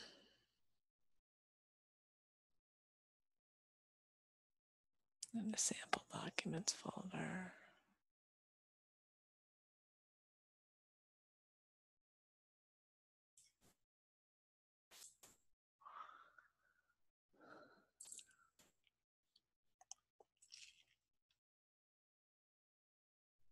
Here we go. You can see every time I hit the tab button, it has this little arrow so you can clearly see the tabs. Sometimes students will do things like this hit the space bar lots of times. And it may look like it lines up. So if I didn't have this thing, I might think, okay, that's all lined up. But then I turn on this button, I can see, wait a second, you didn't hit the tab key here, you hit the space bar. That's a point off because the formatting isn't correct. Formatting is important because you may want to use this same caption for the next case, but if you have this formatting problem, it's going to throw everything off when the name of your business here is one letter short. So imagine that. You can see how it causes problems in the formatting here. Um, and so you have to have all of the formatting behind the scenes. If you PDF it, I can't see the formatting. And so um, you need to, uh, you turn you should turn on the formatting when you're working on it. Another problem is that eh, this example, for example, I can see that I've centered it because this button here is centered. Another way that I might have done this is I might have tabbed it so it's the approximate center. And I can see here that I actually have a left justify and I've just tabbed. As you can see here, the margin is set up. It looks pretty centered. If I didn't have this turn, I wouldn't necessarily know it's not centered. But because I use the tab bar instead of the center key, I'm going to lose a point because I'm supposed to center this. So that's the type of thing that I need to have the, the dot or dot X. Sometimes people will submit something, you know, in Google Docs or um, some other program. Um, sometimes I can't see the formatting in those programs or and or sometimes um, I can't get access to it because I don't have the underlying software. For that reason, I require dot doc or dot docx. You can start working on documents in a different format, and then if you can translate them into dot doc or dot docx, say at the computer lab in one of the campuses, that can be a way of going. But you want to make sure that your final version has the extension um, dot doc or dot docx. If you have any other format, I'm not going to grade it. It's just as simple as that. So don't uh, waste your time um, by not uh, having it in the right format. And again, you have access to Microsoft Word at our computer lab, so you don't have to buy your own copy of this. Um, you certainly can if you want to, but um, uh, you can use the computer labs. Another reason that I insist that you use .doc and .dot or .x is that Microsoft Word is the gold standard for um, legal writing these days. You need to know how to use these tools. You need to be able to represent that to your uh, potential employers. Uh, they won't want to hire you if you don't know how to use Microsoft Word. And so you need to learn, and this can be a good uh, method to learn. If you don't have at least a, a, fairly good understanding of Microsoft Word, I encourage you to um, uh, uh, take an online course of some type or at least to get a book to show you the ins and outs of using it because you will need that information to be successful as a paralegal. Here's some information about the English Convention assignment. Oh, by, by the way, the, the, the weekly assignments, the document assignments are worth 30 points each. They're actually uh, in total worth 50 points. I use 30 points as a starting point. Most of the time, a single error is going to result in a single point deduction. Sometimes it's half a point, sometimes it's a lot more depending upon the seriousness of the issue. The English convention assignments are worth 20 points. Um, almost always there's some extra credit. You can earn a few more points or you can earn a lot less if you have a lot of problems. This one, everyone starts with 30 points and I make deductions. This one, every woman starts with from zero points and when they get things right, I add points to it. So there's a, kind of a different philosophical starting point for respect to those. Uh, the midterm we've already talked about, uh, the testing center and ProctorU. Go through that again. There is an ethics module. It's the final one in the course. Let me go ahead and show you where that is. We have one, as you know, in all of our courses, so there's no, no big difference here. There are a lot of legal issues relating to document production. I'm sorry, not legal issues, uh, ethical issues, legal issues as well, of course. You can see this is module 14. Um, we have an assignment, we have a discussion board, we have lots of things to read. Um, you'll definitely want to spend some time on this. Um, obviously, it's also subject to being covered on tests. And then the final examination. I talked about class participation which is 5% of your grade. Here's some information about the discussion board. We've already talked about this, so I won't spend more time.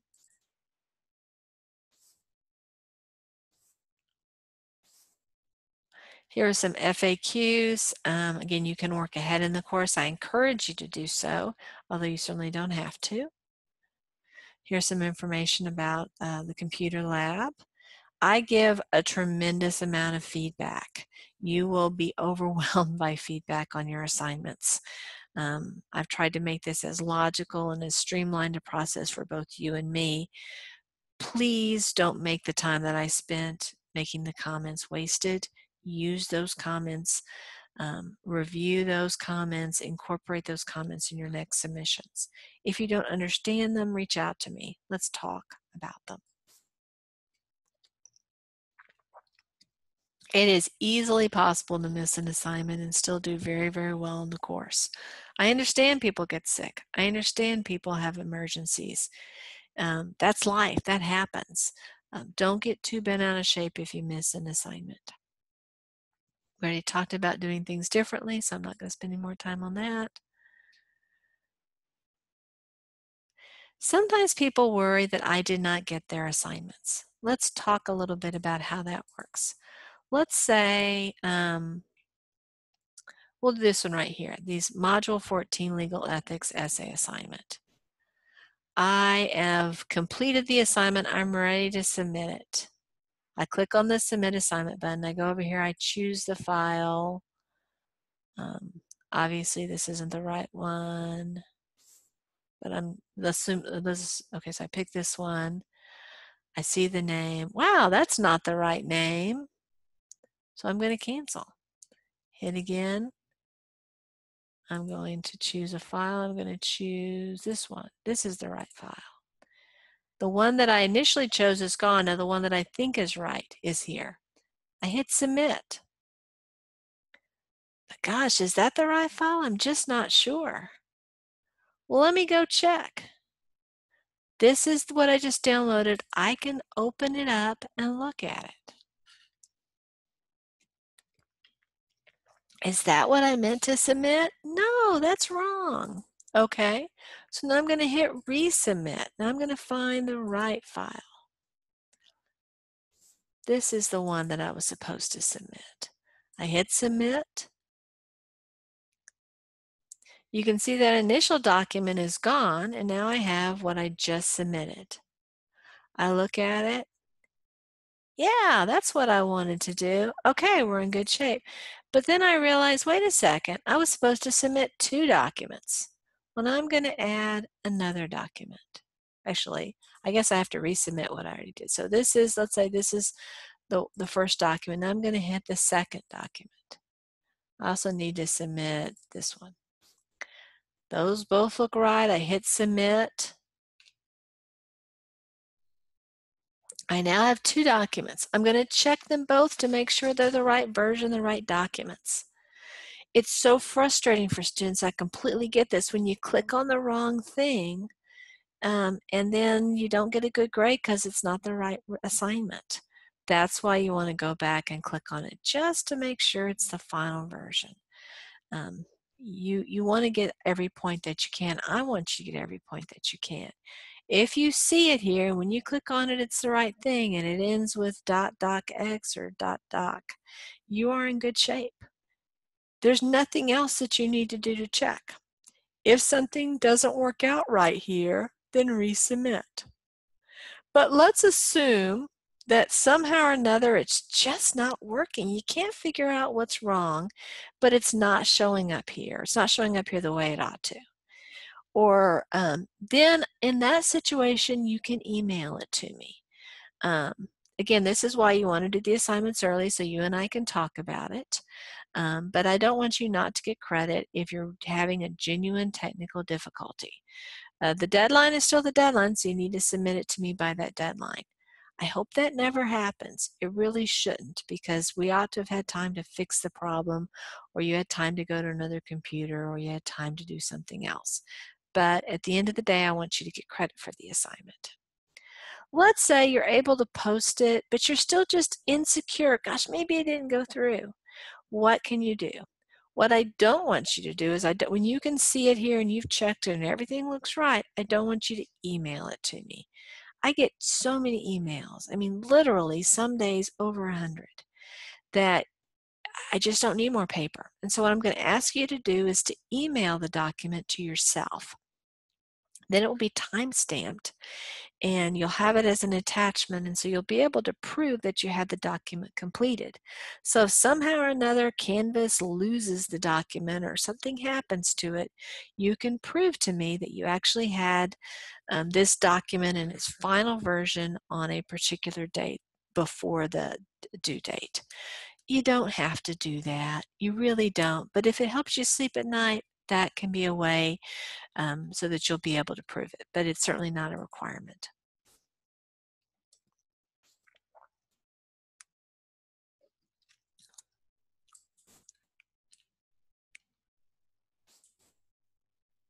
Here's some suggestions about how to be successful. Again, be familiar with the um, orientation module. You may need to revisit it as the course progresses. Follow the directions carefully on assignments and in the lectures.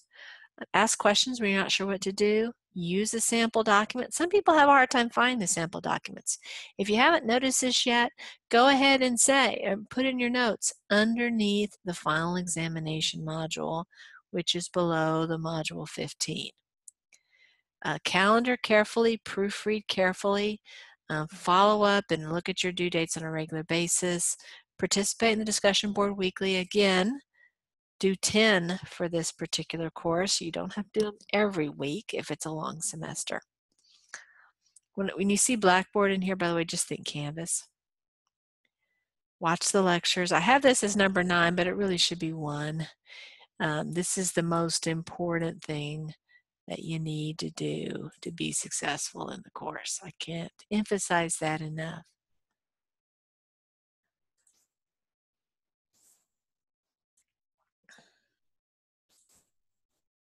Here are some troubleshooting suggestions for how you can uh, solve some computer problems. I'm not a computer person, and so this is by no means an exhaustive list of everything you may need to think about or work on.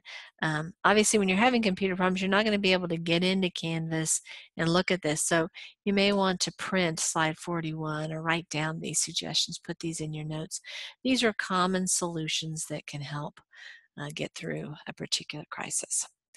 I know we'll have a great semester. I'm really looking forward to working on these documents with you. I look forward to getting to know you better.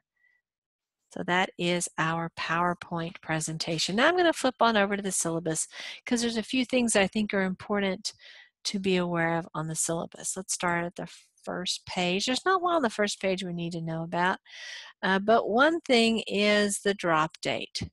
Um, you'll want to be sure if you have to drop, uh, let's say you win the lottery or you get you uh, get a, a work transfer to you know Japan and you're just not going to be able to complete this course, you'll want to drop by this date. If you can't drop by this date and you want to drop later on, you're going to need the agreement of the assistant associate dean, um, which is rather hard to get. Not impossible, but rather hard to get. So you want to calendar this date. I hope you don't need to use it, but it's a good piece of data to have here are my office hours for this semester.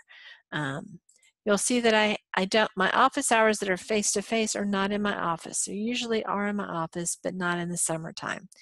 Uh, this summer, it's actually going to be after my contracts class that I'm offering in a face-to-face -face format on Tuesday nights.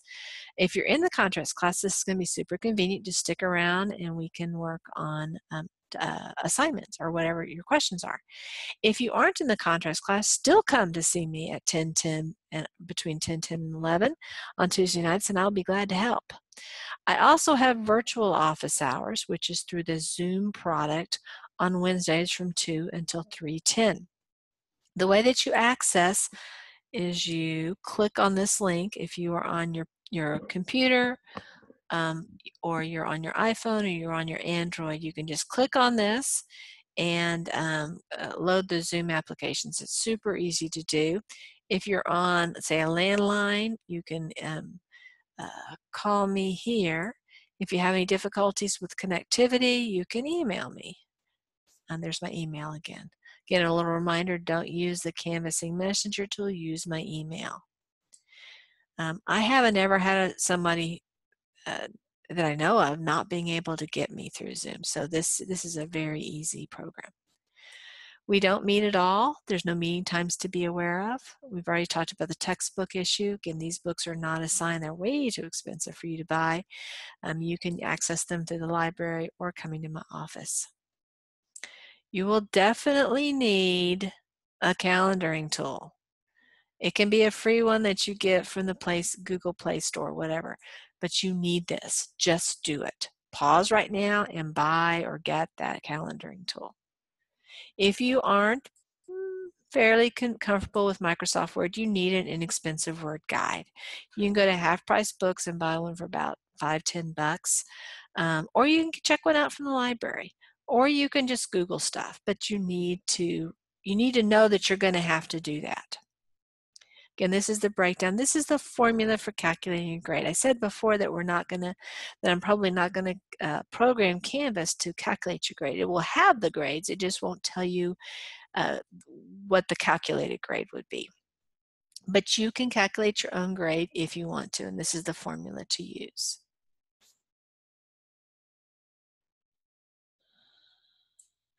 You need to get a minimum of 90 on the uh, court orientation quiz, and you have three shots at doing so. Here are some tools if you're new to Canvas or new to online courses. Here's a, a discussion about how to uh, post on the discussion board. Again, it's the rule about 100 words. You need to include your word count. You need to make two reply posts. All that stuff we've already talked about. Here's some netiquette guidelines. I remind you about Microsoft Word. I don't accept anything in any other format. Don't PDF them. I don't grade late assignments, so don't do it. Generally, students do better on assignments than tests. Um, my tests are difficult and they require a pretty sophisticated understanding of grammar. Everything that are on the tests I cover in my lectures, um, but you need to take careful notes and you need to review them. There's a difference between hearing someone talk about something and actually mastering the material. Um, and so keep in mind that having heard something isn't necessarily meaning that you're going to be able to replicate that where I talked about Proctor ProctorU and getting with me 10 days before the window begins. Here's my email again, and there's information about Proctor ProctorU. And here is the course calendar. And you can see, because uh, it's a summer course, that we're doing two modules most weeks. And you can see this is, a, let's just look at week two. There's module three that we're use, uh, doing, so there's going to be a discussion board with module three. Then there's a document assignment that's due, and I give you the due date here. And there's module four. There will be a, a discussion board associated with it and a document assignment associated with this. And then there's also a grammar proofreading assignment. This will be associated with module three. Again, it's an odd numbered module. So you will have three assignments you need to do this week. Some of you will be able to complete each one of these assignments in about 30 minutes. Um, that's not unrealistic. There'll be other of you who um, might spend several hours on these assignments. It really depends upon the skill sets you bring here. Um, in addition, of course, to the time that you're spending the assignments, there's lots of videos to watch. Um, so, I mean, it, it, certainly won't be something that you can complete in in an hour and a half. Um, typically, a student's going to going to spend, you know, probably six-ish hours on the course a week. Um, and if you're taking over the summer, it's probably going to be more like, you know, nine or ten hours over the course of a week um, to be successful in it. You'll see there is a grammar topic and there are lectures associated with those grammar topics. Let me show you that. I didn't actually do this before. Let's go down here to, um, you, will see there's actually two categories of grammar topics. Let's go to an odd numbered module, module seven. You can see that I have um, a lecture on business organizations. and then I have some information about the grammar topic. So this is the, the lecture that's going to help prepare you for the document assignment. This is what's going to help prepare you for the, for the grammar assignment. So you can see this is about subject-verb agreement problems. And then, wait a second. Then here, okay, this, this uh, you won't actually be able to see this right now. You shouldn't be able to see this because this is the key. um, so these won't be here. Actually, let me make that go away so we can look at this in a more intelligent way. Here we go.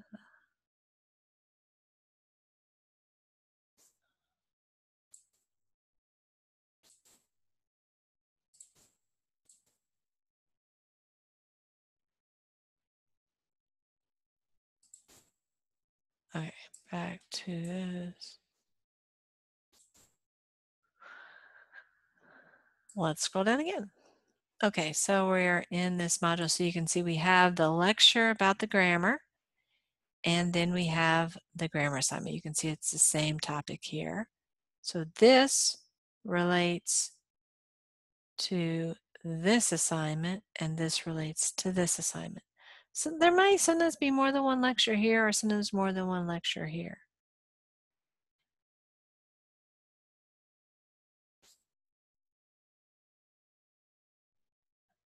Let me uh, go here to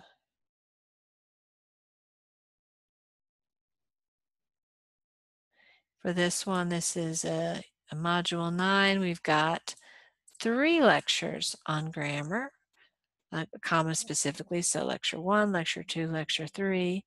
And on uh, preparing answers, we have one lecture on pleadings and then a lecture on putting this the symbol, the um,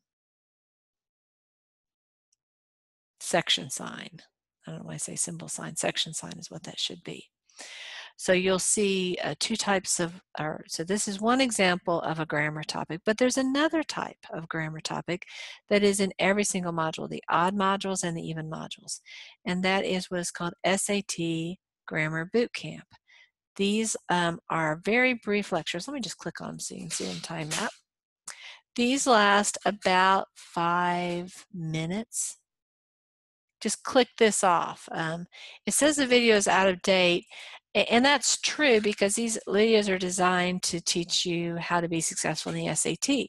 Well, the SAT format has changed, and so uh, this particular company that produces these videos has produced new videos, which are going to be more helpful for the new SAT. But obviously, I'm not preparing you for the SAT, I'm preparing you for the grammar. And the grammar rules didn't change just because the SAT format changed. And so even though these uh, videos are out of date for the SAT, they're perfectly up to date in terms of grammar. So disregard that little warning. Um, watch these lectures, take careful notes, and um, these lectures will be covered in the um, midterm and final examination. You really need to understand this stuff. Um, this is uh, an introduction. I also have, I may not have turned these on yet, but I also have worksheets on most, I'm not going to promise everyone, but most of, of these topics. And I actually am not showing them right now, but um, I will turn those on. They relate to this, so I will put them underneath here. So for example, this one is about case. This is really about pronoun case. Um, and below this, you will, I will give you some ways of experimenting and working and thinking about uh, pronoun case. Um, so it'll be below the, the grammar boot camp thing. Um, they aren't assignments for grades, although you certainly can complete them, um, and you're welcome to come to my office hours with questions, but uh, you won't be submitting them. They are just designed to help you be successful in the midterm and the final examination. Plus, they will help you with the grammar proofreading assignments. Okay, so let's go back to the syllabus. You'll see I've, I uh, have the midterm here. Um, the week of the midterm, we still have another module to cover. Um, so again, because this is a summer, we have to kind of be multitasking. Um, and then at the end, we have the final examination. I list it being one date, but you actually have a window to take the final examination. Okay, let's see what else.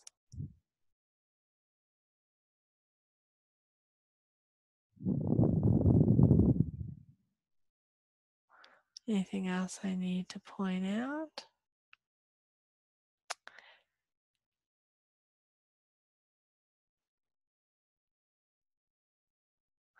I provide information about the final exam and also the midterms. This will give you a breakdown of the composition of the questions. That's for the final exam. Let me show you the one for the midterm.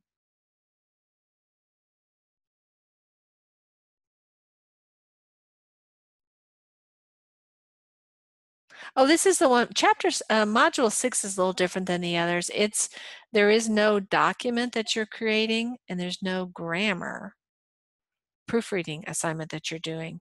Uh, but what you're doing is you're answering um, a multiple choice um, assignment. It's actually called a quiz because uh, Canvas calls everything quizzes, um, but it's actually an assignment. It's open books, open notes. Um, I have given you a series of resources for, for, for looking at the information. Uh, here are the lectures and there's other resources below and um, lots of different things to consider. Um, so uh, be sure to use this. This is the hardest module in the course by far for most people. Um, so spend more time on this rather than less time. You'll see that Module 6 is also the most important part of the course in terms of preparing for the uh, midterm. I'm not sure where I had the midterm.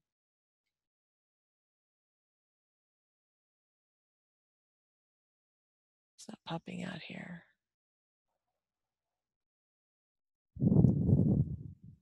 Might have to turn that on to, uh, Oh, yeah, here we go. So it's module eight.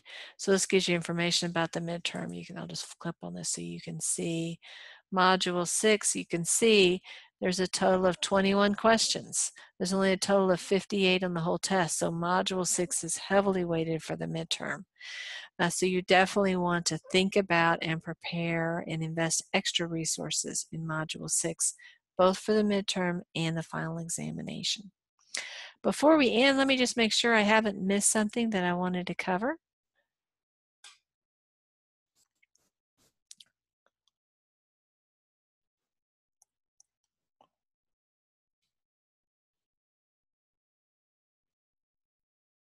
Oh, here's some web links. I post this in all of my courses, so you've probably seen this before. Um, these aren't especially helpful for this class, but they're generally helpful. Um, good tools to figure out uh, places that you may want to go to study uh, material or even in your practice as a paralegal. Uh, so you may want to uh, note where these websites are, um, especially paralegal resources. I hope that this information has been helpful for you. I'm very excited about the semester and I look forward to spending more time with you as we make progress over the material. As always, please reach out to me if you have questions or concerns or if there's a way I can add value uh, to you as you uh, work in this course. Thank you so much for your attention. Have a great day.